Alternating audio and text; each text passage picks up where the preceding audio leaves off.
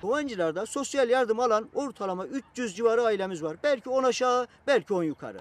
He, önümüzdeki yıl hedefimiz 1000 dönüm ve yukarısı sebze ekimi yapıp patates, soğan, sarımsak da dahil olmak üzere ekimi yapıp her ailemize beşer dönüm düşecek şekilde bir çalışma yapacağız. Bir kooperatif kuracağız inşallah Allah'ın izniyle ve amacımız Kovancılar ilçemizdeki yardım alan tüm ailelere ulaşıp tüm aileleri çalıştırıp tüm aileleri üretime e, sokup üretmelerini sağlayacağız inşallah. Ailelerimiz günlük buraya geliyorlar sulamasını yapıyorlar. Biber, patlıcan her neyse o gün yetişen ne varsa hepsini topluyorlar.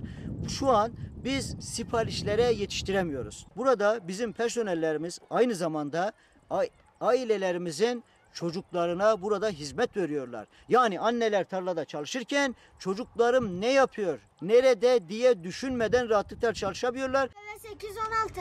2 kere 8 16. 2 kere 9 18. 2 kere 9 18. Evde oturuyorduk mesela hiçbir iş yoktu. Şu an böyle bir iş verildiği için müdürümüze teşekkür ediyoruz.